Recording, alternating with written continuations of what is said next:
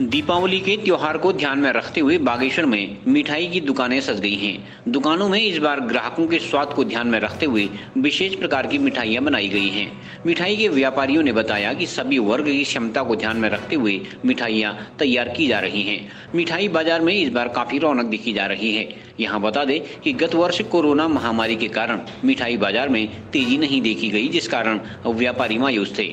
लेकिन इस बार बाज़ार में रौनक दिखी जा रही है, जिससे माना जा रहा है। मिठाई बाज़ार में अच्छा खासा व्यापार होगा। इस बार हमने सभी वर्ग के वर्गों के लिए मिठाई बना रखी है हर हर, हर वर्ग की। और जैसे कि हमने इस बार कोरोना काल खोलने के बावजूद पिछली बार तो पता ही था कि कोरोना काल से सब कुछ ख़त्म हुआ था। इस बार हमने हर प्रकार की मिठाइयाँ उपलब्ध है हमारे और और ज़्यादा क्या बोला वो सभी बागेश्वर वालों को दिवाली की बहुत बहुत बधाई और एक बार सेवा का अवसर दें। दिवाली स्पेशल इस बार करण स्वीट्स की ओर से हमारे स्पेशल गिफ्ट्स हैं।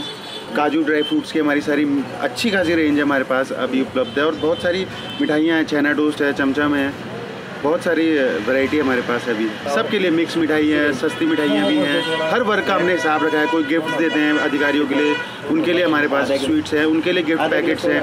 बहुत सारी रेंज है इस बार हमारे पास, बहुत सारी रेंज है। आप सभी को मेरी ओर से पूरे बागेश्वर को सी के माध्यम से, सभी को मेरी ओर से दिवाली की ढेर सारी शुभकामनाएँ और भैया दूज की ढेर सारी शुभकामनाएँ।